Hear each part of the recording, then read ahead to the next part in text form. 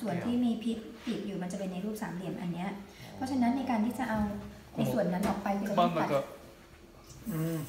เนี่ยปลาฟันฟันอืมเป็นอย่างนี้ยค่ะ เหมือนมันมาชนกันแล้วเป็นรูปสามเหลี่ยมอะประมาณนะคะ ここに刃を入れて อืม 刃をこうやって刃を入れて กลาง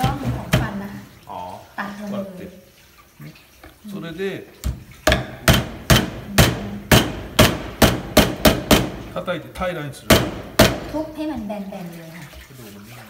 そうするとあの内側の粘膜が取りやすい ส่วนด้านในที่เราอยากเราก็จะได้ล็อกง่ายขึ้น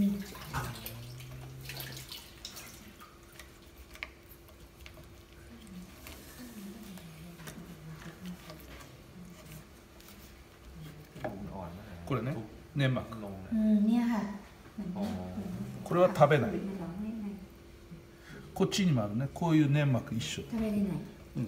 こっちは食べる อันเนี้ยทานได้ค่ะ อืม ส่วนที่เราไป ちょっと血が血がついてこういう血がついてたら水につけてこう เลื